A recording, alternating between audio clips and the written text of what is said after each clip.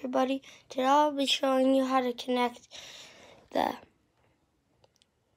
Z Edge X1 4K camera, the waterproof camera. This thing is basic is as good as a GoPro.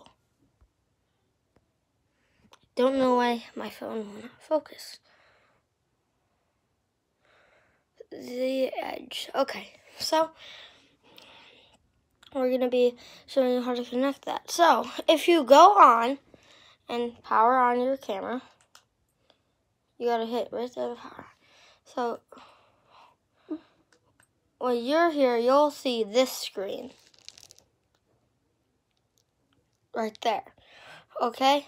And then you want to hit the volume up button and wait a little hit OK when you get to the Wi-Fi screen. And then connect your phone, computer, or whatever you're doing to the Wi-Fi thing it says. Okay? You got to connect, and then you just go to your settings on whatever, connect it to this Wi-Fi, and then go to the app, the Z Edge X1, the Z Edge app, and then hit connect, and then it'll be all connected up, and you'll be ready to film with your camera. So that's basically it. This is a very good camera. Uh, I don't have the case on. It comes with a waterproof protective case. And yeah.